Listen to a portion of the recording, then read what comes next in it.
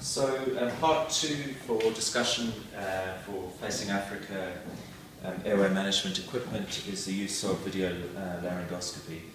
Um, we have two options here. Um, one is the GlideScope.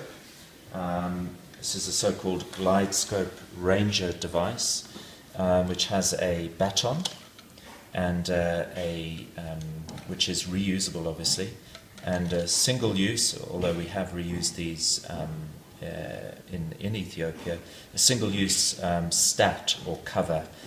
Um, so it has a light source, it has a camera at the end. Now the shape of this is such that it's around the corner view. So direct laryngoscopy isn't possible. Um, what's required is either a stylet. Um, this is an example of a, a stylet which is packaged, which allows you to shape the endotracheal tube, which can be a host of options from an oral through an armored tube. And basically, the shape essentially is a, a, hockey stick shape or a 90 degree matching the curvature of the video laryngoscope. The second option we have is, uh, and the one um, that we've used, um, well, probably um, on, on more occasions, is the Macintosh McGrath. Um, and the, the, advantage of this device is it's ergonomically um, very nice to handle.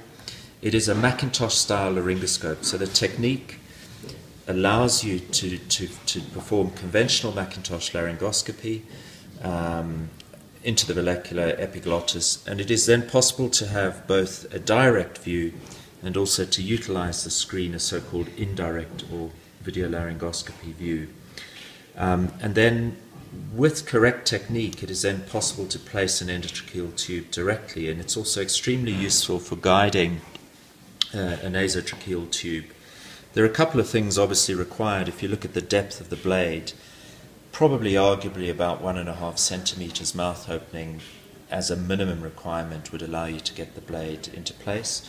They're also extremely useful for guiding nasogastric tube placements, for exactly confirming that your NG tube um, is passed correctly um, into the stomach.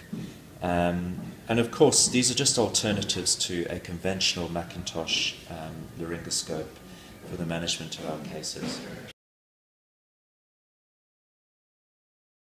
Pull lip back there for me, please.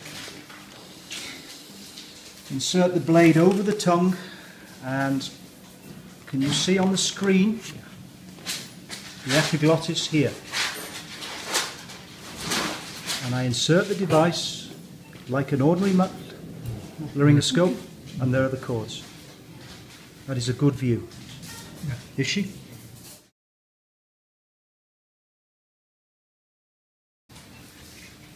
Pause.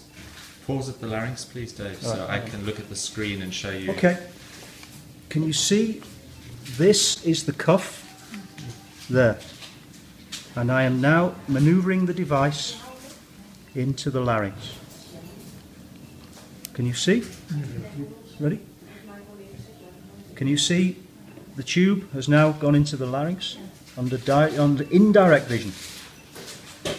Epiglottis, tube, cords, arytenoid. Is she? Okay.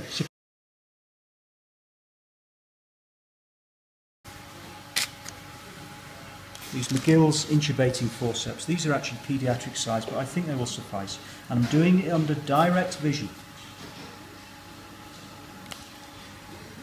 Can you see? Direct vision. And it just, the general principle is if you can see what you're doing, it is safer. This can be tied to the tube. So when the tube comes out, the throat pack must come out. That is a safety device. Now, I can't put it there because surgeon's working. But that is a reminder. See,